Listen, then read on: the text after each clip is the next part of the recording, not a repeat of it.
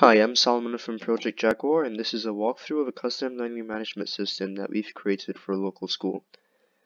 For this demonstration, we'll be using my Chrome browser.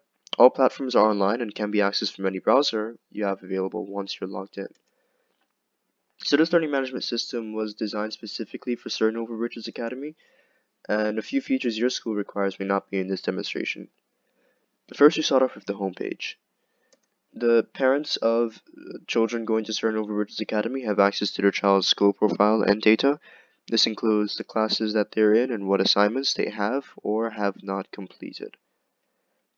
While everything is kept simple for the parents, the administration of the school has more flexibility and ultimate control over the platform.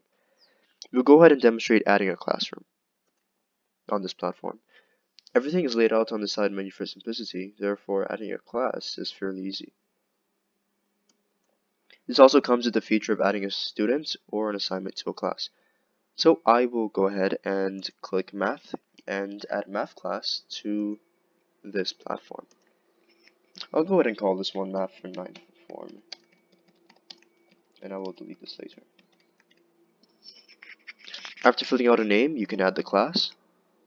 And you can go ahead to either add students or assignments to this class. Now adding a student is a one-step process by clicking the button on the bottom right, a list of students will load. Teachers can search through this list and add a student to their class.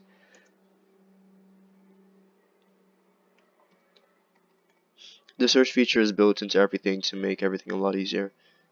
By clicking the students, the student is now added to that class.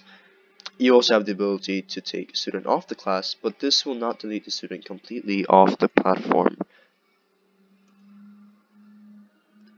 Now adding an assignment on this platform comes with the feature to select the assignment type and which classes to add this assignment to. Uh, the search feature is also added into that to cut down on time.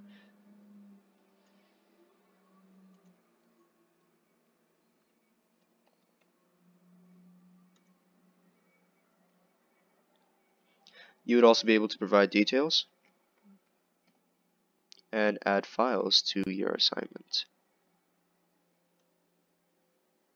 You can also select the assignment type just for importance. Now by clicking the button on the button on the bottom right hand corner, you can confirm that you want to send out this assignment and this will be added to both of the classes that I have selected.